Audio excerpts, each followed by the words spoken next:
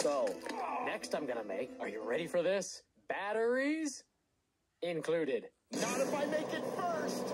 JJ, wait! We can do it together! We can. Yeah! Now, don't you worry about those director boys. I'm sure they'll work things out. And if you don't understand this ending, well, go ask your parents.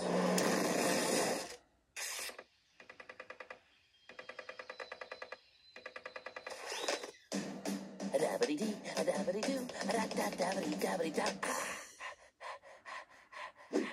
Wait, wait! I can do magic too! Tired of always losing out to celebrities? I'm sorry, we're only seating TV and movie stars right now. Then you need a celebrity mask. The mask that makes people think you're a celebrity. Excuse me, do you have a... Leonardo DiCaprio? Why, come right this way. With a celebrity mask, you'll be treated like a star. Hey, buddy, you can't just cut to the front of the. Leonardo DiCaprio? You can cut in front of me any day. So you can do whatever you want. How much for this jacket? You know what? Who cares? I'm just gonna take it. Leo out.